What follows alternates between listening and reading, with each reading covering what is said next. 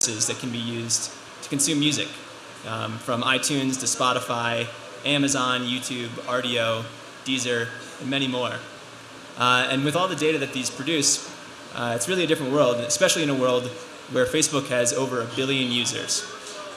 So this is a world where there's a lot of data being thrown off and a lot of consumption online. And if we look at uh, the activity that Next Big Sound tracked in 2012, we see almost 94 billion new plays, 5.7 billion new artist fan relationships online, and 17.1 billion new profile views. So this is a huge scale, right? There's a, a lot of data being thrown off into the world. Um, and it's also a different world in terms of uh, sales, digital sales, and its role in the industry. So if you look back to 2004, you see that digital sales were only very uh, slightly be, starting to be a part of the world, right? You have uh, less than 1% of total US music sales being digital. And now in 2012 in the US, uh, over 50% of the music industry, of the revenue from it, uh, is happening in the digital world. So it's very important to look at digital analytics, to look online. Everybody knows this by now. Um, and Next Big Sound was really built in that age. So Next Big Sound is an analytics and insights company um, our whole purpose is to take data online, to collect it, and to provide a platform for analysis. Um, so I'll give you a little bit more background about Next Big Sound and then dive into some analytics work.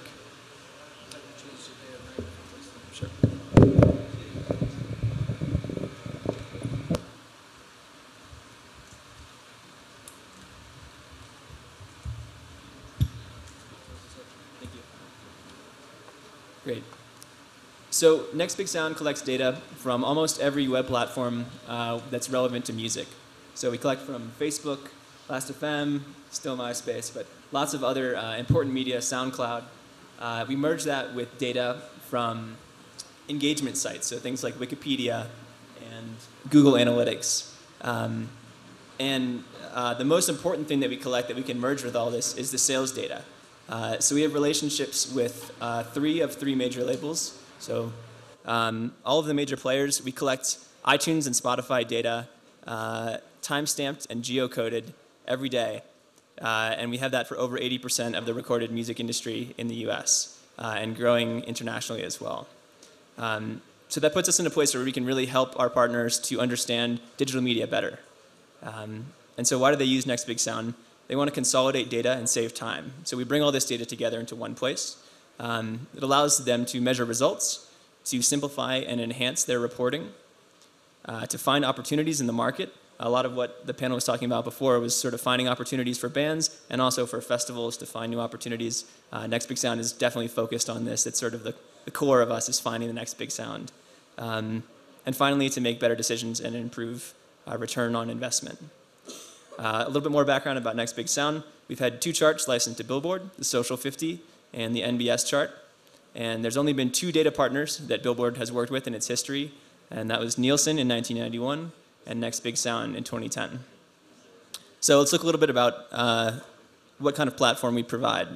So here's an example of an overview, a top-level view of a range of artists. This is from the Social 50, which is the most important artists, uh, or most popular at least, um, looking at various metrics. So here you can get an idea of what the current metrics are for this artist.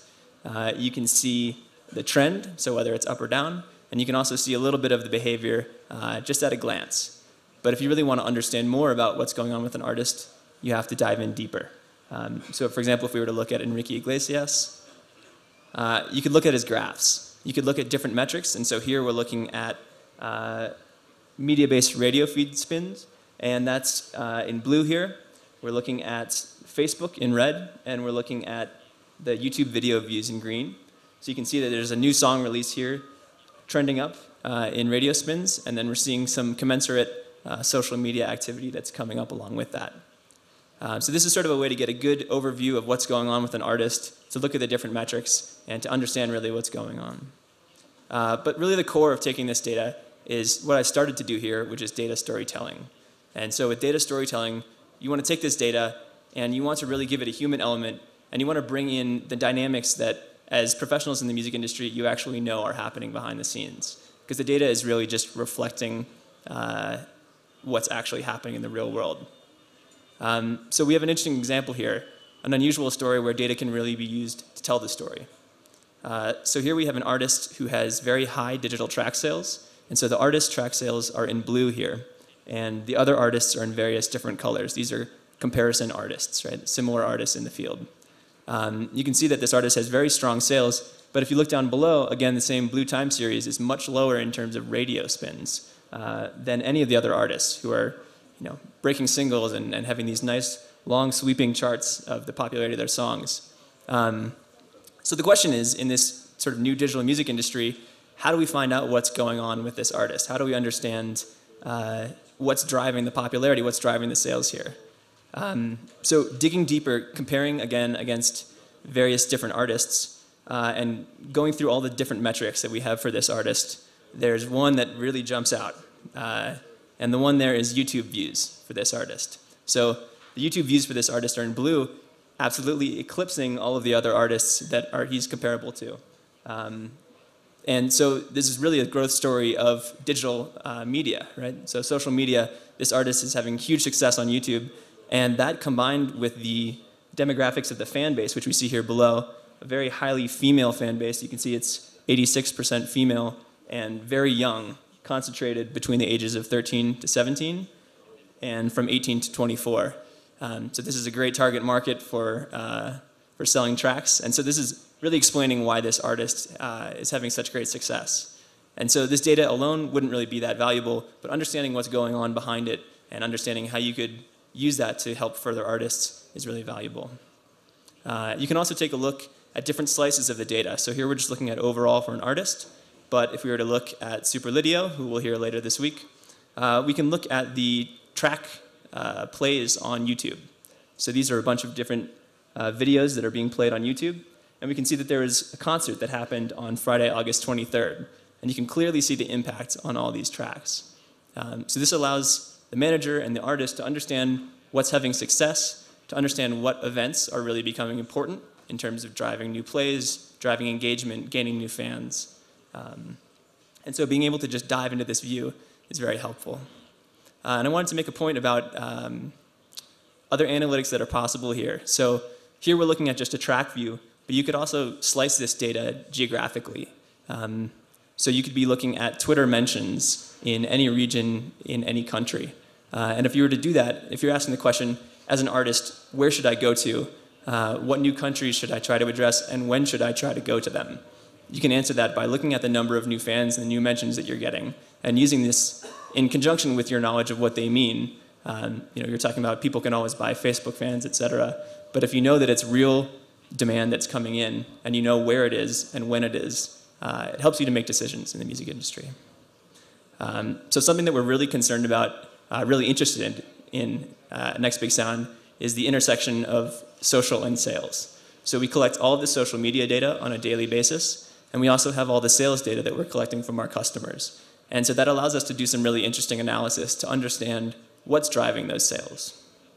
Um, and we've done that in a few different ways. The best way, honestly, as we've just done in the past few slides, is to use visualization. You can understand in a single instance what's happening, what's driving sales, and you can really get a clear picture of what's going on with an artist. But if you want to take that and look at a broader view across hundreds or thousands of artists, you need to use some automated mathematical methods. Um, and that's where correlation, correlation analysis, and something called Granger causality come in. And I'll talk a little bit more about those later. So looking into visualization at first, here's a plot of the iTunes sales and the Spotify plays uh, for an artist.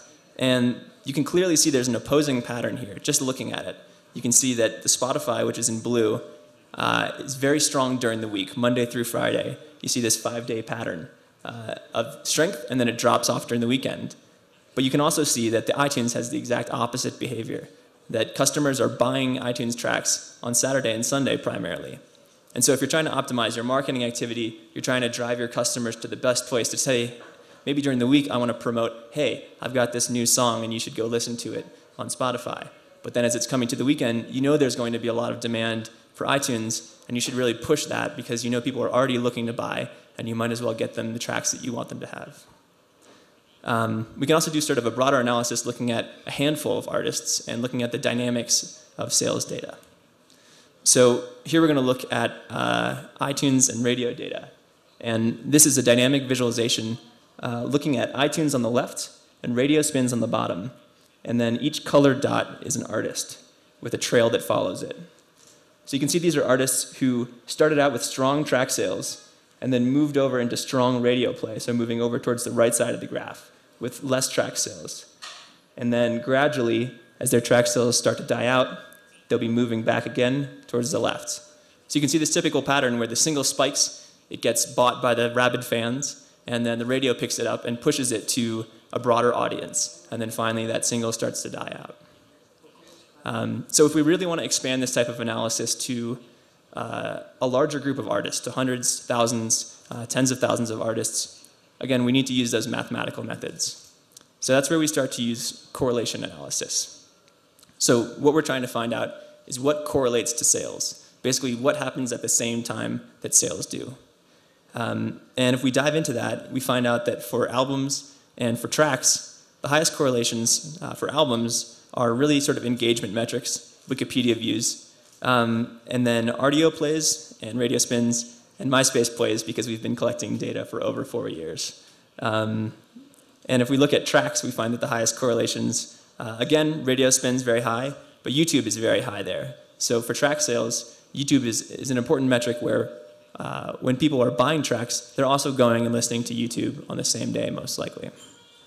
Um, and Facebook fans and Twitter fans are both really important there. So you can kind of look at that and, and look at that data and think, okay, what does that mean? They're moving together. Maybe this means that Facebook fans are being added at the same time as tracks are being purchased. Maybe people discover a band and become a fan on Facebook and buy the new track. Maybe it's vice versa. It's hard to know from correlation because you only know what's happening at the same time uh, and what we can use to really understand in a broader perspective with all of the metrics and also with some lag to understand what happens before uh, is something called Granger causality. And so at Next Big Sound, we have a, a small group of data scientists.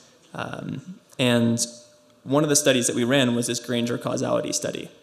And what we're looking at here is all the different social media metrics for an artist against their sales at once. And what we're trying to find out is which of these metrics is important and provides information that we don't already know from the sales. So what we saw before is that Facebook fans and Twitter fans were peaking at the same time as sales. Good to know, but it doesn't help us in terms of what's actually driving those sales. Um, so with Granger causality, we're going to find out what's happening before and what's happening at the same time and what's actually informing uh, your prediction of how many sales you're going to get for a track. Um, so what we did is we ran that across uh, I think, at least 5,000 artists and tried to find out which of these metrics could we say is significantly causal of sales. So which one is actually um, really relevant towards predicting sales. So if we look at digital album sales, we see a different picture here. Uh, we see that what's most predictive, what adds the most information to understanding sales, is the page views of the artist's website. So this makes sense. People go to the website before they buy the track. Uh, they go to find out, they go to find out maybe days before to see when the new release is. Um, probably the artist has been posting on Facebook saying, hey, my new release is out in two days, come check it out. Um, so this is happening before and at the same time as sales. Uh, but if we look a little bit below that, we see some of the same metrics here. We see Facebook page views, we see radio spins, and we see Wikipedia page views. And going back to the data storytelling, we want to make a hypothesis about why this is happening. Uh, and the hypothesis here is that maybe people are going to Google and they're searching for an artist, and when that artist comes up, the first thing they see is probably the Facebook page or maybe the Wikipedia page. Um, so this is where the engagement is happening when people are looking for an artist uh, and when they're trying to find out what's this new album that dropped. And if we take a look at track sales, we see some of the same things radio spins, still very relevant. And these engagement metrics of Facebook Insights page views and Wikipedia page views are still also very relevant. So these are some examples of ways to tell stories with the data, uh, to use the data that we can collect on a daily basis, um, and to slice and dice it to really bring out uh, the dynamics of what's happening in the real world. Uh, but behind this, there's a lot of technology that's involved. Uh, and I'll talk a little bit about that, about the collection of data. So Next Big Sound started uh, primarily collecting data originally on MySpace and a couple other social networks, and we've gradually expanded our reach. Um, originally, our stack was pretty simple. We collected data from the sources, we put it in a database in storage, and then we finally moved that into our product where customers could see it. Uh, as time went on, we realized we needed to have some cleaning and we needed to provide some deeper analytics. Um, the cleaning is necessary because it turns out that as you collect data from uh, the various social media sources, they're big, they have huge scale and very smart people, but they always make mistakes. Uh, and so we have to find out all the little anomalies that are in there and try to clean them and at least identify them. Um, we also need to find out when something interesting is happening. So that's where this analytics piece comes into play. Uh, so we have something, we have an alert system, and this alert system is looking at the data every day and looking at the past history for a given artist. And so let's say that you usually get 30 Wikipedia views per day. And then all of a sudden you have 400 Wikipedia views someday. So that's way outside of the bounds of what you'd usually expect. And we can identify that and, and bring that to attention uh, and say, hey, here's something you should look at. What's going on with your artist? What's driving this in the world? Um, so as time has gone by, we've also added data science and we've added deeper analytics into our stack. Uh, and so that's more of what we're moving into now, which is having sources still pulling data into storage, still doing cleaning. Uh, but now we've got this analytics and data science layer that's cleaning our data and it's building interesting sets on top of it. And I'll show you a little bit more of that later. Um, that gets pushed into data marts, and those are basically ways to store data so that you could look at it geographically, you could look at a chart for an artist, you could look at uh, the time series, you could look at all kinds of different projections of this data. And finally, it goes into the project. Uh, I won't go into too much on this, but this is our latest architecture. Um, so we're using a lot of the uh, sort of cutting edge open source big data tools. Um, and what we're really trying to do is make this as scalable as possible so that for the hundreds of thousands of artists that we track, we can collect all of their daily metrics from you know, up to 50 or even 100 different sources and put all of those metrics into our database very quickly at the same time every day and ensure that that data is being stored with high fidelity. Um, and more importantly, we have these services at the bottom here as I was mentioning, that can serve up the geodata, the metadata about an artist, event data, so things like if you have a blog post that happened or you had a concert, um, we can store those things and, and pull those in with the data, and then the time series and also the chart. So those are ranking things like a billboard chart. Um, and I'll go into a little bit about the way that we analyze this data as well. So from our data science perspective, uh, we're really working with a lot of data, but we try to make it so that we can explore things quickly. Um, and this is something that uh, people who are trying to work with data, uh, it's a great skill to be able to uh, slice out pieces that you think are relevant and then try to work with those in very limited environments. And once you've validated that that works on a single artist or a handful of artists, you can expand that out to a broader audience. Um, so we prototype in R, which is a statistical program, and then we deploy that in either R or Java code. Uh, and we have a big analytics cluster where once we have these uh, algorithms we want to run, we can push them across our entire data set. Uh, so that's enough tech, and let's get back into sort of interesting information.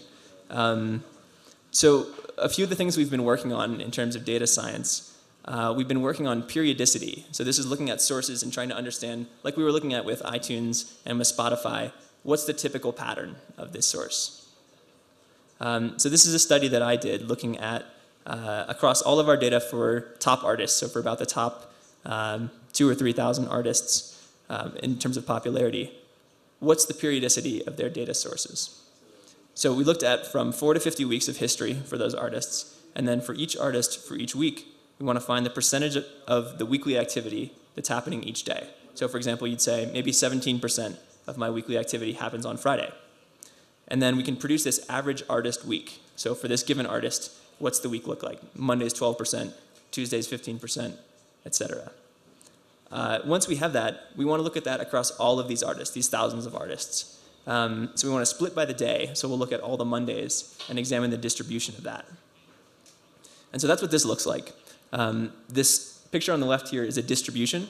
and it's the height of the line here is in terms of how common that percentage is of the weekly activity for this day. So, for example, on Sunday here, we would say that the most typical value is about 15, uh, or sorry, 14.5% of the weekly activity. And we can do that for each day, and we can find out that for Facebook page likes, there's very strong activity on Sunday and Monday, but as you go further out into the week, you're slowly declining all the way through Friday, and then eventually bumping back up on Saturday.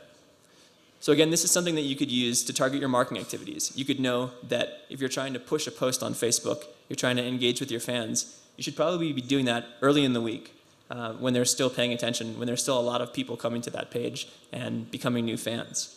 Uh, and as the week goes on, you should maybe move to some other source that has more activity at that time of the week. Um, a couple other interesting things about these. Uh, if you look at the breakdown of Rdio and radio, they turn out to be basically the opposite, and this is similar to Spotify and iTunes. So with Rdio, uh, streaming service, you can see very high utilization during the week. So Monday through Friday, people are using it a lot, and even ramping up during the week, as I guess they stop doing as much work. Uh, and then Saturday and Sunday, they're not uh, quite as, uh, as strong in terms of usage. And radio shows the exact opposite of that, right? So spins for a major artist we'll see mostly on Saturday and Sunday. So again, if you're trying to optimize your marketing activities, you can do that knowing the weekly pattern of activity here. Uh, and what we want to do with this type of data science research is really to push it out. At conferences like this, uh, we want to get it released. So this is that information uh, being shown as a, a, physical print in Billboard. And we want to get this information out there so that we can make it useful to people. That's the whole sort of point of our company is to make data useful. Um, so I'll go into one more instance of interesting data science. And that is uh, using our Find product, which is a product that's meant to discover new artists, um, or at least discover artists that have certain characteristics. Uh, so we've done an interesting project, which is trying to find virality of an artist, trying to find artists that are growing at a fast rate uh, and that are growing with a curvature, right? Um, so I have a simple example here looking at a curve uh, just with five points and trying to fit a polynomial regression to that. Um, and so the idea is we want to find out how curvy is this regression and how much is it pointing up. Uh, so we want to look at this circled term up here next to the x squared. So that tells us basically how curvy is it. We also want to find out how well it fits to that curve. So is this just sort of a, a curve that happened to fit that, or is it actually a nice uh, quadratic curve that's sloping up? Um, so we can combine these two things to produce a measure of virality. And with this measure of virality, we can discover artists that are trending up. So with our find product, you can define a number of different filters. And with those filters, you can filter down all of our hundreds of thousands of artists into a very small subset that matches what you want. Um, so here I'm looking for musicians on YouTube uh, that have high virality and that are not very well known. So these musicians are only getting between 300 and 10,000 YouTube views uh, in the past 30 days. They're musicians, and they have between 25 and the maximum virality, which is 100. Uh, and you can see here that we're also generating distributions for each of these metrics. So for the video views, you can see there's a nice sort of normal bell curve here. And you can use that to sort of understand what's going on, understand what, uh, when you're selecting a certain uh, number for a metric, you know, what does 20,000 Facebook fans mean? What does 300 YouTube views mean? Uh, you can understand that by looking at this distribution and knowing that here we're going to select maybe about the 40th percentile to the 60th percentile of this distribution. So not huge artists, not tiny artists, you know, probably like my YouTube channel or my grandma or somebody, but uh, within a certain range and understanding the context from that. Uh, and likewise, with the virality, we're really only selecting highly viral artists because the vast majority of them fall way below that. Uh, and so doing that, you can find new artists. You can see their time series. You can see that they are getting sort of recent play. They're, they're getting uh, new attention. And potentially this is something that you could use to reach out to artists. So if you're South by Southwest, if you're any conference, if you're a venue that's looking for artists in your area, you could use this to sort of slice and dice and find artists that potentially uh, you could get on in terms of um, right when they're young, right when they're just starting to become very popular. Uh, we've also done some other interesting research with this Find product. and that is the likelihood that an artist will appear on the Billboard Top 200 chart in the next year. So we take a look at all of the metrics for an artist, and we try to understand, looking at that historically, what types of metric patterns would indicate that an artist is going to become very popular, that they're going to sell very well, that their singles are going to get on the Billboard Top 200 chart. So we train this model on historical data, we validate against that, we prototype it, as I mentioned before, and then we move that into production. Um, and what that shows up as is a prediction within our find system. So here you can see I'm looking for artists who have less than 20,000 Facebook fans, uh, which is still uh, the vast majority of artists that are in our database. But I want to find the ones that have the highest likelihood of showing up on the Billboard 200, uh, according to our algorithm. Again, this isn't perfect, but it's supposed to give a good identifier to be uh, really an efficient tool to cut down the number of artists that you have to look at and to bring that bring those artists that are important to the forefront so that you can use your own knowledge of the music industry to uh, evaluate them. And so here we're looking at a set of artists that are sorted by their likelihood of appearing on the Billboard 200. These are probably artists that have major singles out but still haven't made it to the chart yet uh, and have low Facebook fans. Uh, so this would be a great way, this type of tool, this type of analysis is a great way for people who are looking for artists to be at their festivals again or uh, join up with brands or really any uh, prototype where you know what kind of artist you want and you're just trying to filter through all the hundreds of thousands of them out there to find the ones that are relevant to you. Uh, and so the future things that we want to do with our data science are things like time series prediction. So if we could know 30 days in advance, let's say, how good your iTunes sales are going to be, or how many Facebook fans you're, have, you're going to have, or potentially how many people are going to be at a concert uh, according to an event. We want to know those things. We want to be able to make that available to people. Um, we also want to do geographic benchmarks and alerts. And so this is really helpful in the case of trying to plan a tour. So if you're going to look for uh, what's a region in this country where I'm doing much better than most artists are doing, uh, or what country in the world am I doing in uh, doing better in than most artists in terms of Twitter mentions or in terms of Facebook fans. Uh, we want to do research around that. And we want to know the reaction to events. So we saw that a little bit with the concert and the track sales for Super or the, the YouTube plays for Superlitio.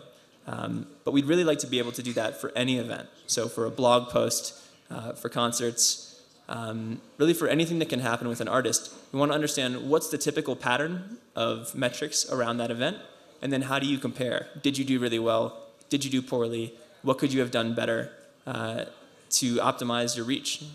Um, so the takeaways from all this, uh, there's huge social data volumes today. And the best way to take those and to make them useful is through visualization and data storytelling. Uh, we'd like to help out, and we'd like to see other people in the industry help out as well with advanced analytics and data science and these are ways to really get at some of the underlying patterns, things that are non-obvious, industry trends or uh, patterns in the data that you wouldn't see just with your naked eye. Um, and behind all that is obviously some technological processing capacity. It's sort of a necessary component to work with big data. But really the core point that I want to leave you with is that data analytics as a whole are tools to make you more effective.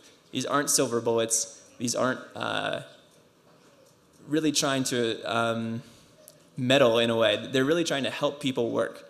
Uh, we're trying to make you more effective as a brand promoter, as a band promoter, um, as a tour planner, as an artist in terms of discovering what your fans are like and uh, where they are and you know what kinds of things they're interested in.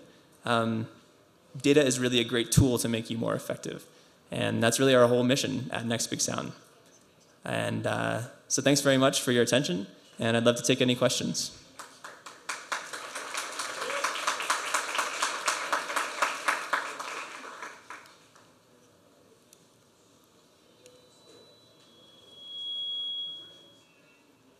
No questions?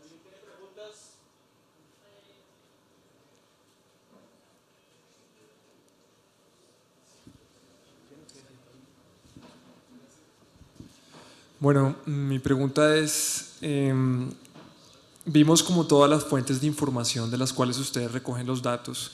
¿Existen fuentes alternativas eh, de lo que está pasando con la música de pronto no legal, como en el caso de The Pirate Bay, por, un- por decir algún tipo de ejemplo de qué sucede en esos sitios? Yeah, absolutely. Um, so uh, there's a lot of things that are going on with BitTorrent, of course. Um, there's still some holdover from other networks. Um, we don't track those metrics. Uh, we're focused more on the social media side, but those are definitely important in terms of understanding the demand for your band. Um, the question is, you know, how much does that affect sales? That's what people are always concerned about.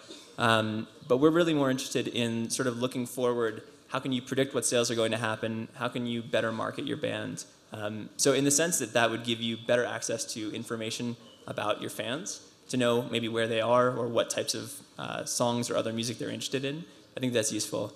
Um, but otherwise, we don't focus on it very much. ¿Alguien más?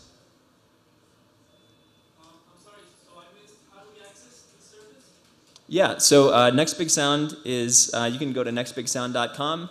We have a free version where you can sort of get some information, and then as you want to get into more detail to do different types of analyses or to pull out uh, richer data sources, uh, you can sign up for an account, and we have plans for that.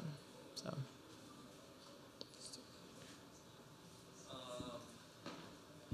Can you do that like with a bunch of bands? Like I have, uh, I don't know, five or six blues bands. Can I take all that and see it as a whole?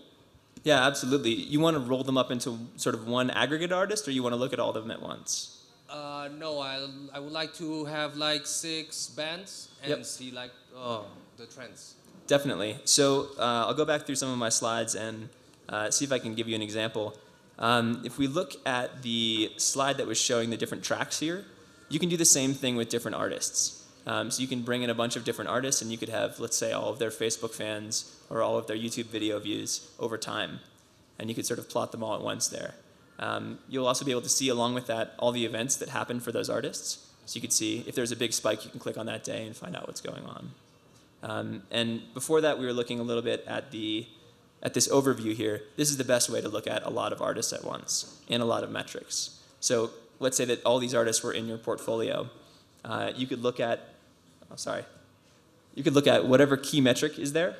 Um, so for example, maybe you care about Twitter mentions and YouTube video views. You can put those up there, see what the trends are like for all your artists. You can see the little spark lines underneath uh, and really understand what's going on there. Thanks. Sure. can predict uh, what video is gonna is gonna be viral. I'm sorry, say it one more time.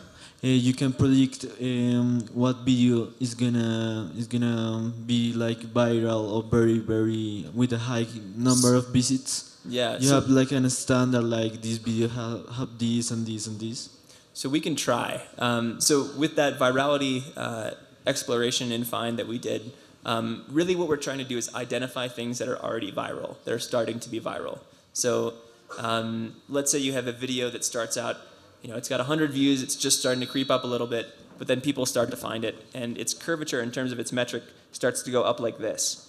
Um, so we can identify that and say that right now it's behaving as though it's viral, right? Because the the rate of play is accelerating.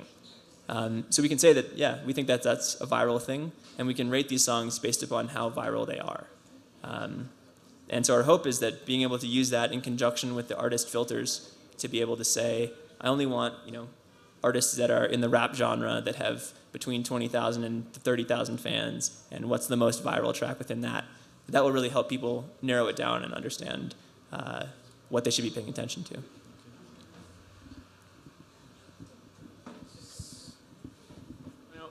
Eh, antes de que se paren, agradecerles por estar esta mañana con nosotros. Eh, tenemos un break de almuerzo, por el retraso será solo media hora. Si gustan, aquí venden pizzas. Eh, después de esa media hora seguimos con un taller de startups de música que va a ser liderado por eh, Santiago Restrepo de Musical y por Bernardo Franco de Gmop. Eh, a continuación de eso tendremos una ponencia de- del Ministerio de Cultura sobre el proyecto Lazo y al finalizar eh, arranca el conversatorio en la carpa principal del Colegio Nuevo Gimnasio con Richard Gutter de The Orchard, a quien vieron en el primer panel esta mañana, es muy recomendado que vayan, va a ser súper interesante. Y luego de eso tendremos showcase en la, al frente de la tienda Toto de la calle T con los Petit Felas y con los de la Van. Eh, y así acabamos el día de hoy.